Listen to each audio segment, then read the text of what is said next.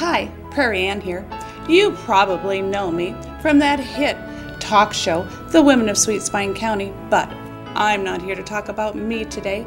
My fellow celebrities and I have discovered some incredible counties and towns in our neighboring communities that you're sure to want to learn about. Let's take a look. Located in Mankato, Kansas, in Jewell County, you will find Hidden Treasures Quilt Shop. Established in July 2008 by owner Luann Wilson, Hidden Treasures Quilt Shop has a rich tradition of service to its community. After 32 years of working as a school librarian, Luann retired, but not for long. In 2007, a quilt shop in a neighboring town closed, and I bought their remaining stock and fixtures, Luann shared. Later that fall, another shop was foreclosed on, and the bank offered their stock in a silent auction. With the inventory from these two shops, I got about 900 to 1,000 partial bolts of fabric, patterns, books, and a few notions. This gave me a basis to start the shop the next year.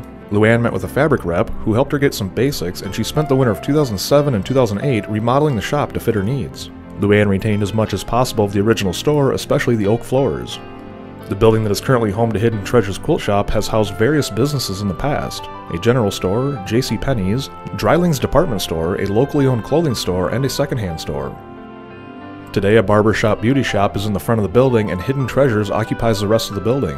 The back of the shop is a concrete floor with floor heat, which is where classes are held for beginners and special techniques that are of interest to their customers.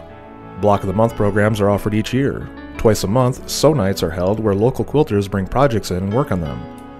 These nights start in the late afternoon and go until everyone goes home. Hidden Treasures Quilt Shop has a wide variety of fabrics including blenders, Civil War reproductions, 30s reproductions, batiks, patriotic, some novelties, baby, flannels, panels, solids, and local college prints.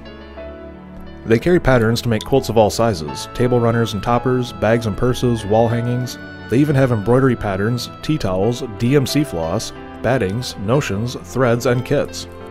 The beautiful quilt samples hanging in the shop are made to showcase new fabrics and or patterns and are available for sale. Can't visit the shop just yet?